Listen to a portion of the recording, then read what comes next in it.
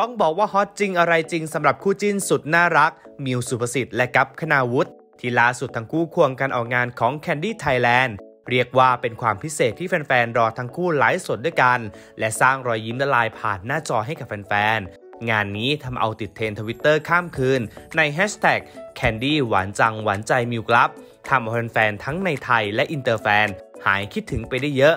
บอกเลยว่าคู่นี้เขาฮอตไม่มีแผ่วสมค่าการรอคอยจริง ๆฟันฟรานซ์ฟราย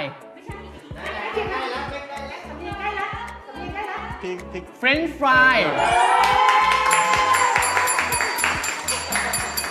ผมพี่มิววาดอะไรพี่ นี่พี่วาดรูปน้องพระอาทิตย์ไปแล้ว เดี๋ยวกำลังจะเริ่มเขียนว่าขอบคุณ ผมก็อยากวาดนะดอกทานตะวันแต่ว่าแบบ กลัวว่าละเละเลยแปะเอาดีกว่า